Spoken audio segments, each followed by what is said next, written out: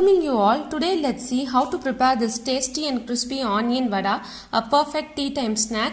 I have prepared coconut chutney for this vada today. Now let's see how to prepare this tasty and crispy vada. I have finely sliced two big onions.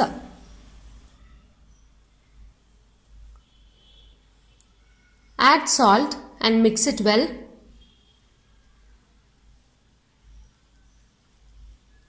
Cover it with a lid and set it aside for 10 minutes.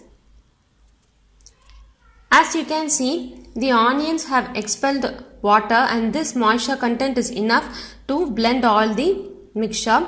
I have taken about half a teaspoon of chili powder and half a teaspoon of coriander powder and few finely chopped coriander leaves. Instead of chili powder, you can even add finely chopped green chilies. Now mix it well. To this, add about 1 tablespoon of rice flour and half a tablespoon of rava semolina.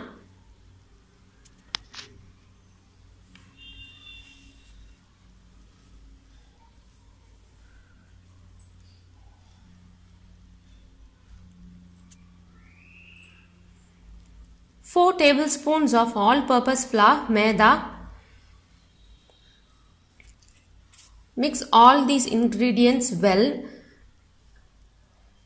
As already said, the moisture content in the onion is enough for the mixture to get blended. If required, sprinkle water little by little. The dough should be bit thick. If it is watery, then the vada will start to absorb oil. Now our batter is ready and it's of a perfect consistency. Now let's prepare the vada. Grease your hand with water and prepare it in the vada shape and deep fry it in the oil. Fry it well until they turn golden brown on both the sides. The vada is crispy from outside and tasty inside, a perfect companion for tea time.